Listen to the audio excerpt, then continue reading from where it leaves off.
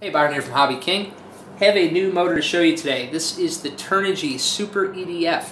This is a 1600 kV 3660 size in-runner for uh, EDF systems. Now, very powerful motor here. It's a great uh, motor at this kV range because this will handle anywhere from 6 to 8S. So as you can imagine, our 8S, a very powerful motor, capable of up to 90 amps. So uh, this will actually put your wattage over 2600 watts uh, with 8S setup.